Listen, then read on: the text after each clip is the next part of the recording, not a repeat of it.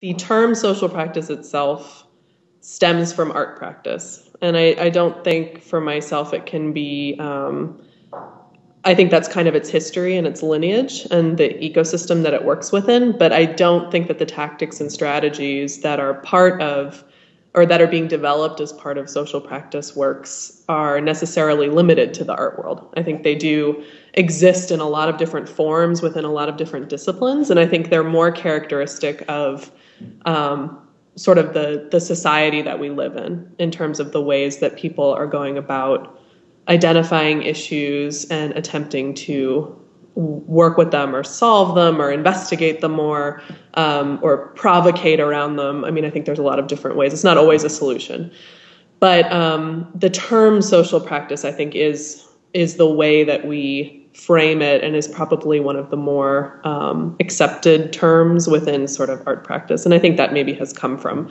some theory around the subject from arts writers and art historians, and probably Harrell Fletcher's program, which is called a social practice MFA, and so on and so forth. I personally like Pablo Helguera's term more, which is socially engaged art practice, because I think it does connect it with um, with sort of the art practice lineage. But then I also like the generality of social practice too, in the fact that it might kind of also be part of what other disciplines are exploring as well. So I don't know, I'm kind of split on that in terms of the semiotics. Um, but a lot of the things I think I've been thinking about in terms of what characterizes this practice is um, I think the you know if there were to be one key principle, I would probably say co-production um, or or co empowerment, and the notion that um, you know problems, issues of social justice um, that affect society, political issues need to be approached sort of in a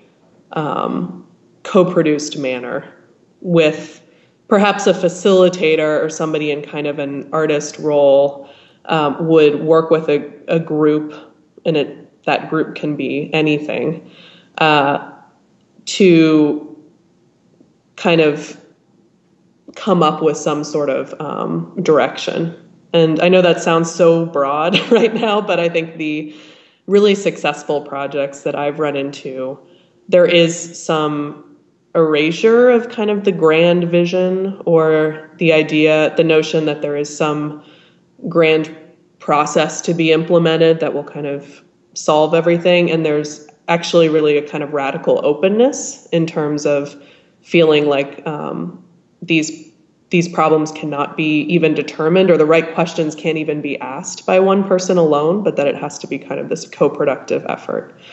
Um, and I think we're seeing that in a lot of different areas of life. I mean, I think it's really a reaction to kind of our globalized environment. It's a reaction to the way that our systems work now. Um, perhaps our different media environment has something to do with it, you know, social media and kind of the uh, democratization of distribution and that sort of thing. But, um, you know, I, I just heard on the radio the other day Richard Florida, who of course has this like very broad, overreaching creative class argument in terms of cities. Um, talking about as if it's kind of this new revelation that the way that we should change our manufacturing systems and fa- and factories and sort of increase wages for um, low end workers are to you know talk to the workers themselves and have them sort of increase in efficiencies of production and things like that. And I was like, oh wow, you just How came. But I think you see that everywhere. I mean, you see that you see sort of economists starting to come to that conclusion. You see companies, you know, Google is a good example, starting to come to that conclusion. And I think that's where social practice has been for quite some time in terms of um, exploring those different types of grassroots method, methods of working.